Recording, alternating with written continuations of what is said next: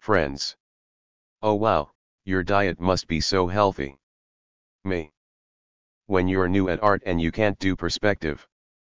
Teacher leaves the class for 0.003 seconds. Hi. Guys. Tell me why we fight. For freedom. Or peace. Loot boxes. Innocent man released from prison after 36 years. Police. Oh oopsie whoopsie. We made a forky worky. A whittle forko boingo. Bubbles is out here holding two chopsticks with no fingers and I can't even hold together my will to live. George is wearing the boots John Travolta wore in Saturday Night Fever. He is behind the yellow line. Ah ah ah ah, staying alive. When you try to caffeinate yourself but just end up increasing your heart rate while remaining exhausted. Me, in real life. What scares you the most? Werewolves. Sharks the unstoppable marching of time that is slowly guiding us all towards an inevitable death. Ghosts. Me trying to fix my rapidly deteriorating mental health.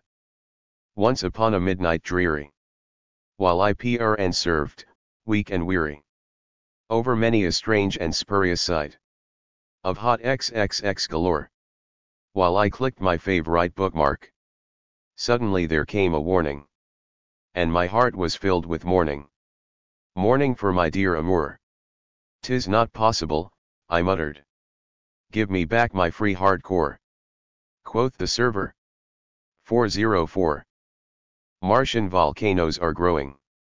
It's because volcanoes have no natural predators in space. When you show people a movie you love, but they don't pay any attention or react to any of the important scenes. Tesla engineers devise a new autopilot system. We put the brick on the accelerator. Superman. Single. Batman. Single.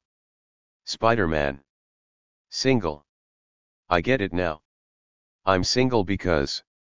Years of rejection have left me with a toxic and cynical attitude towards women that repels even those who could bring themselves to see past my obvious physical flaws.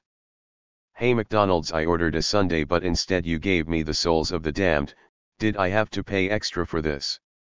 I start running for president. I use the I'm a woman card. I lose to a Cheeto. I lose to a Cheeto. Send me nudes. No, like a sissy pic. This bear has no technology. Having thrown away his phone. He returns to nature.